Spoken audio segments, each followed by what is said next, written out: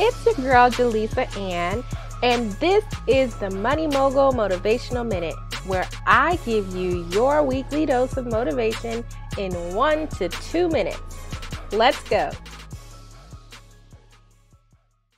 There is no someday in anybody's calendar.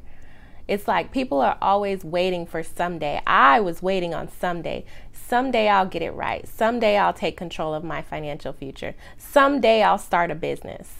Someday. But someday does not exist. So why not today? How about replacing someday with today? So instead of someday I'll start making better financial decisions. Today I'll start making better financial decisions. Instead of someday I'll start a business, today I will start a business. Today I am a business owner.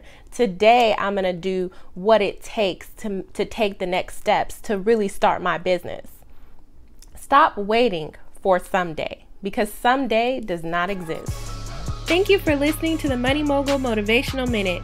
Please be sure to rate us on iTunes and subscribe so that you can know about future episodes. Our full episode will be available on Thursday, so be sure to check it out. Have a great day.